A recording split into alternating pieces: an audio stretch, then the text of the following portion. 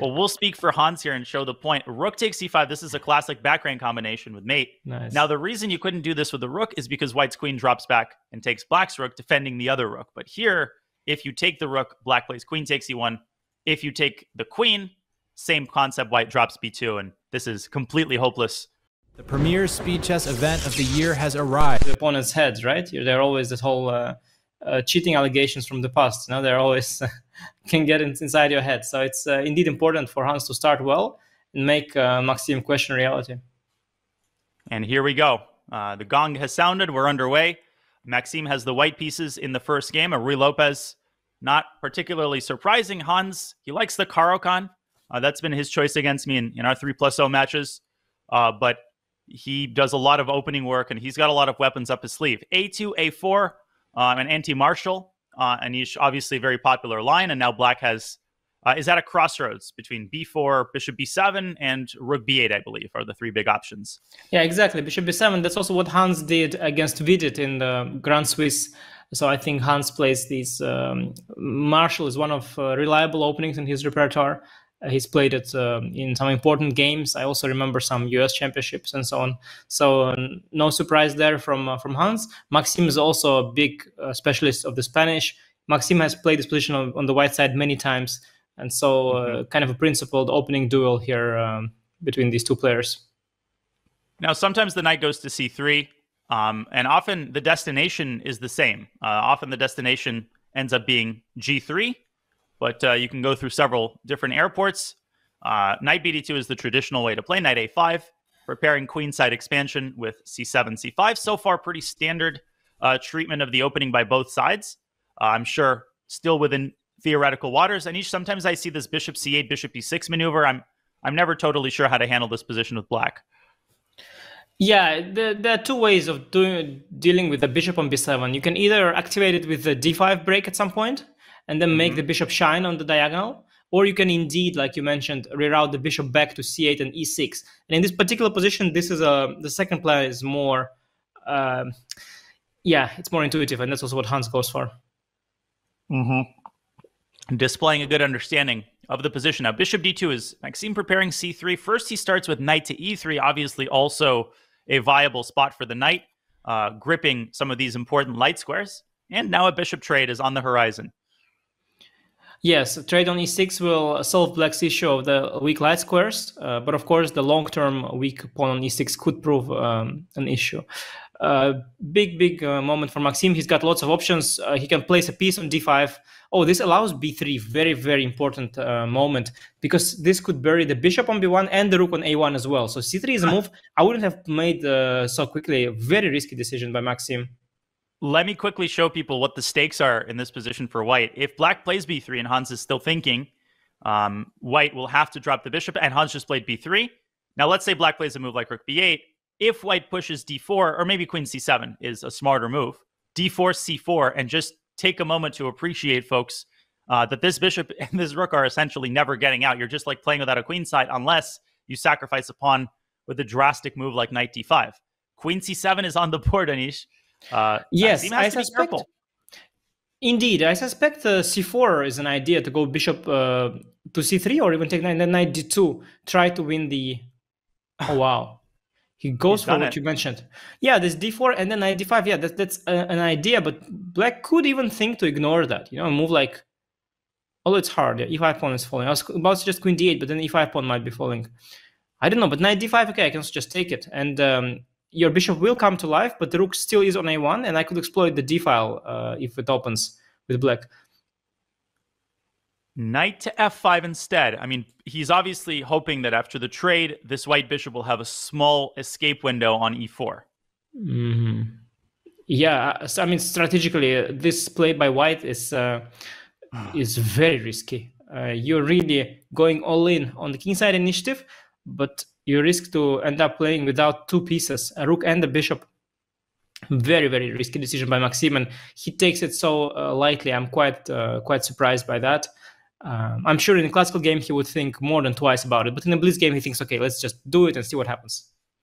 Yeah, he's like a pilot during a thunderstorm. Your the plane is shaking, you know, the coffee's spilling, the passengers are screaming, and you know, it's just another day at the office. But Um, Maxime has to keep the plane stable here. Rook 8 to d8, criticized by the computer, but the computer criticizes everything. It hates all that is beautiful in life. Um, Hans keeping the tension, Maxime doing so as well. So White refusing to take on e7. I mean, technically, White could have taken a pawn, but that didn't seem appealing at all because the bishop would have stayed buried on b1. But now he does. Now he does. Uh, he, he, he takes on e7, but he, he's not going to be able to win the pawn on e5, right? Like he'll probably take with rook, but then bishop g5. But even ah. that, you know, ah. it's not so clear. You do have to checkmate me there, and if you don't, at the end of the day, I mean, you'll start attacking with the three pieces you have left, but the other two are in the corner, and I will have more pieces in defense than you have in the attack. So I'm not, uh, I'm not so thrilled with White's position. Even rook e7, bishop g5, h6, bishop f6, gf, just go for yeah, it. And how see. are you? How can White be better when you're playing without these two pieces and there's no obvious roadmap for getting them out of the gate? Now, Hans is taking a while. I would have honestly taken to the rook quickly. Is there some tactic there that that is? Called? I mean, bishop g5, bishop f6, I guess, is scarier if you're actually sitting at the board. Yeah, yeah, and also uh, I sort of said that it could not work. It could also it could also work. Yeah, how do how do I know? I'm just sort of easy, easy. It's easy to expose other people's king. Yeah, when it's yours, it's a different story. So I understand Maxime's hesitation as well. Oh, I sadly I find it all too easy to expose my own as well. Um, I've learned that lesson one too many times now. Queen takes c7 is a positional pawn sacrifice, uh, but the upside is that and he does play queen e7. Now well, I think Maxime has to take on e5. Yes, but at this moment, oh, Ooh. oh, bishop g4. Wow, wow, nice resource. Uh, now black is trying to explore exploit the fact that white is temporarily uh, has his rook on a1 out of play because the rook will eventually get into play, but temporarily it's out. So black is trying to be very quick here. And this knight on a5 is really the engine of black's entire construction, just sitting there in the corner, you know, chilling with a pina colada and burying white's entire queenside. If you play queen takes g4, people, black will play rook takes d2, then the b2 pawn will be hanging. Is white in trouble. I mean, clearly Maxime missed bishop g4. That came out of nowhere. And if you play h3 Anish 95, this is looking ominous for Maxime.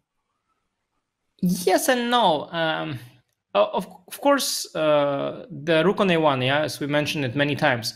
But you are up a pawn, and if at some point you get f4, e5 rolling, you activate the b1 bishop, you activate the a1 rook, you'll be doing great. So white's position has potential. Um, but currently, yeah, currently there are some difficult questions to answer. Like, what is your next move? yeah, yeah. Starting with what do you do now? Because f4 queen c5 check is a non-starter. Um, if you can push this knight away, f4 becomes a serious possibility. He plays queen takes g4. Okay, maybe e5 after rook takes d2, because the priority is getting this bishop out of the, prison. Uh huh. So the b pawn is being sacrificed. Wow. Right? You're not supposed like, to take it. Why? Oh, e6, queen h5, something like that, but it's not obvious. Oh, this knight on a5, I, I sung its praises just a second ago. It's it's undefended. I think taking on b2 is tempting. I don't. I think Hans will do that. Um, I don't smells expect a rat. Queen c5, uh-huh, hitting the pawn. makes sense. Makes sense too. He, he wants to first uh, activate the queen, secure the knight on a5 somewhat, and then take on b2 next after queen f4. But the issue for black is queen f4, rook takes b2. That rook is sort of trapped on b2, which is not sort of. imminently dangerous. I mean, you don't have queen c1, you relinquish the f2 pawn, but it's a little bit scary. Maybe bishop f5 and e6 there. White could take over the initiative pretty quickly. Yes, white will uh, have active rooks. Bishop will come out. Rook from a1 will go, go to d1. White will have more pieces in the attack briefly. But of course, long term, the b3 pawn is there. So if we imagine any rook endgame, then white's already doomed in those rook endgames. Maxime goes for queen h4, which is attacking the h7 pawn um, as well as defending the f2 pawn. But at g6, the question is again, uh, how do you proceed? The e5 pawn hangs and the b2 pawn hangs. Mm-hmm. So probably his last move was just not accurate. He just lost him time. He's just losing a tempo. Yeah, you're, you're right. Rook takes c5 is now a huge threat. This pawn was really the source of your counterplay. He might have to play queen f4, but then black has rook takes c5. Tactic? No, no, he doesn't. Queen takes d2. But just okay, rook b2 so... now. Now black won a tempo compared to the line before. It got g6 uh-huh. for free. And, and white doesn't is... have bishop f5. Queen queen e queen e5 queen e5 queen, e... queen e5. Oh, queen e5. Wow. That's a. By the way, that's a that's a that's a game. I see. Let's see if. I, oh yeah. And he yeah, finds yeah, it. Yeah, yeah, yeah, It's over. No, this is uh, yeah. Wow. Look at Hans.